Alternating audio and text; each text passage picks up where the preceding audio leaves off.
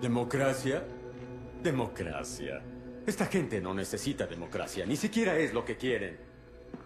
América lleva un siglo correteando por el globo intentando instaurar la democracia en un país tras otro y no ha servido ni una vez. ¿Y por qué fue así? Porque estos países no cuentan con los cimientos básicos necesarios para soportar una democracia. Pequeñas cosas como tolerar a los que no están de acuerdo con nosotros o a los que adoran a un Dios distinto al nuestro o que un periodista pueda estar en desacuerdo con el maldito presidente. ¿Y creen ustedes que pueden entrar en este país basándose en algún principio religioso, tirar un par de bombas, derrocar a un dictador e instaurar una democracia? Por favor. La gente no quiere libertad. Quiere reglas, límites, protecciones de los invasores y de sí mismos. La gente necesita un líder que proporcione tanto barreras como apoyo para mantener el caos a raya. Denles eso y lo seguirán. Y aquí es donde entro yo.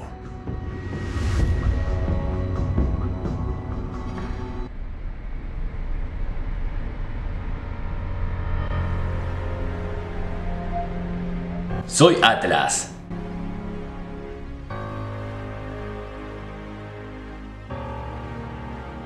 Sirvo a Atlas y sus clientes. Siempre pondré a Atlas y sus intereses primero. No seré derrotado. No seré superado en clase o armas. Estaré listo para eliminar los enemigos de Atlas. Yo soy Atlas.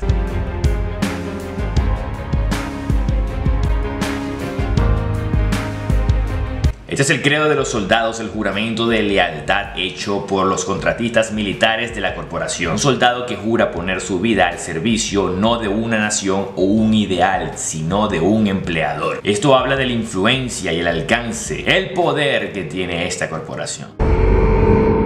Atlas es la corporación militar privada más grande y la organización privada con mayor alcance que la humanidad ha visto. Sus intereses dirigieron el curso de la investigación internacional. El valor de sus acciones impulsó la economía mundial. Sus productos reforman la vida cotidiana. A la cabeza en innovación, tecnología y ciencia, encabezando la revolución más grande en el transporte desde el descubrimiento del vuelo. En el campo de la ingeniería biológica ha logrado creaciones tan aparentemente imposibles así como espeluznantes.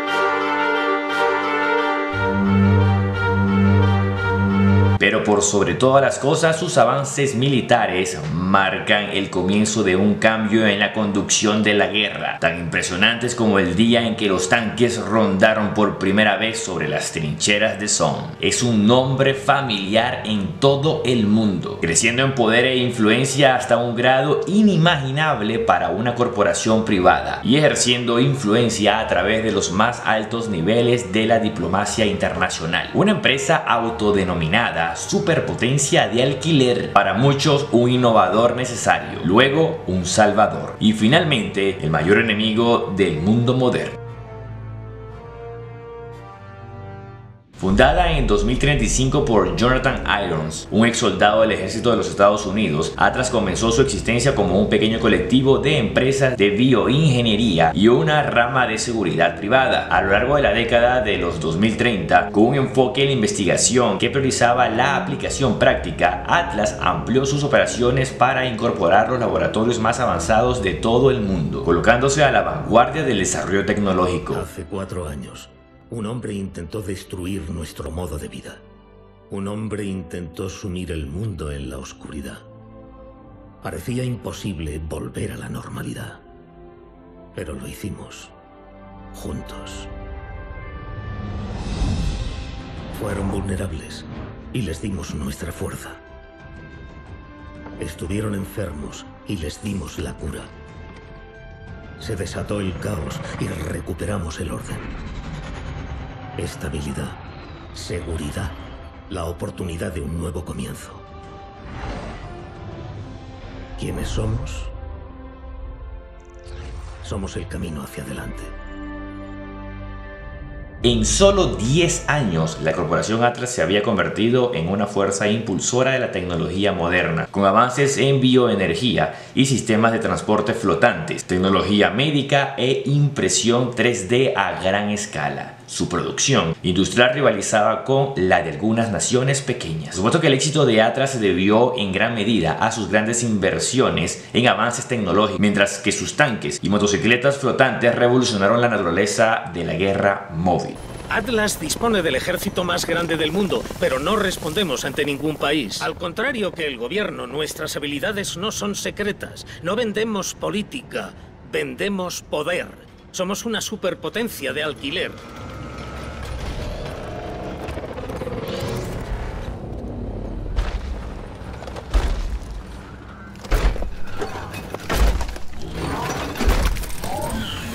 El poder no solo está basado en la destrucción. Atlas ha construido infraestructuras en sitios como Corea, Sierra Leona o Nigeria.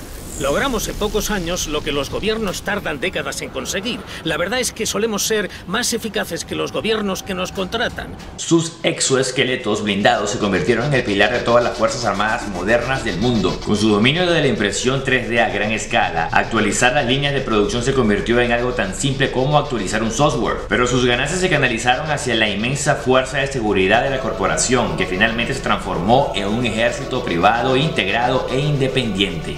En apenas 15 años, Atlas se había convertido en la contratista militar más grande del mundo, capaz de operar a un nivel no visto en el sector privado desde el apogeo de la campaña británica de las Indias Orientales. Gracias a las conexiones gubernamentales de Irons, Atlas también se convirtió en el principal proveedor de los Estados Unidos.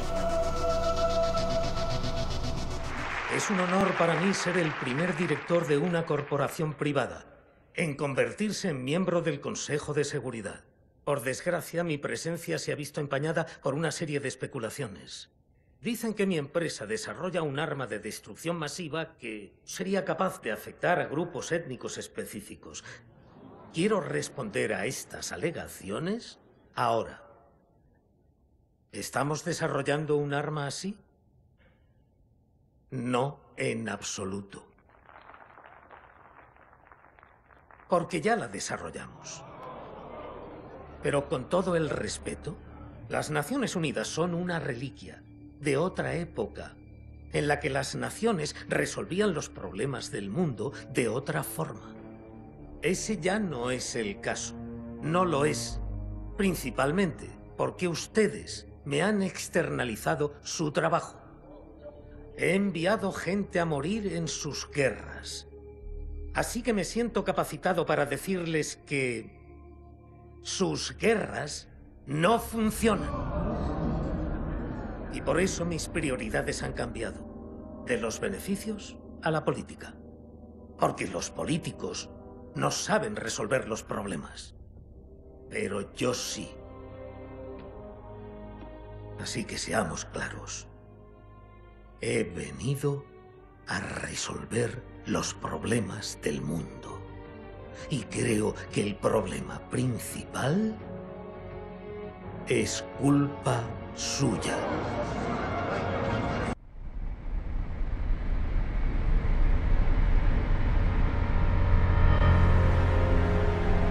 Mientras tanto, sus propias fuerzas igualaron a las naciones más grandes del mundo en escala y eficacia, e incluso en algunas áreas hasta lograron superarlas. Gracias a estas amplias capacidades, las Fuerzas Armadas privadas de Atlas comenzaron a operar como cualquier fuerza armada nacional, adoptando un enfoque de armas combinadas para la guerra que cubría todos los aspectos de cualquier teatro militar, desde infantería hasta vehículos blindados pesados, cobertura aérea y artillería Atlas podía desplegar una fuerza de combate completa sin depender del apoyo de ninguna nación. Rutinariamente buscarían soldados de los ejércitos nacionales capaces de ofrecerles salarios mucho más altos y a menudo mejores equipos para el mismo despliegue. Tenían los recursos para mantener al menos una flota de buques de guerra basada en un portaaviones e incluso operaban una base orbital capaz de lanzar cápsulas de lanzamiento directamente en las zonas de combate activas.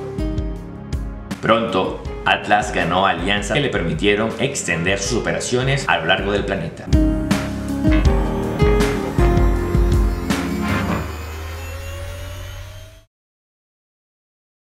Estados Unidos ha mantenido el mundo en guerra constantemente durante más de 100 años. Una y otra vez hemos visto los resultados catastróficos de esta política militarista y beligerante. Estas guerras no nos han llevado a resolver nada, ni a la paz. Estas guerras solo han desembocado en otras. Estados Unidos había llevado la batuta porque era el perro que ladraba más alto, pero ya no. Esto no es el principio de una guerra. Es el final de todas las guerras.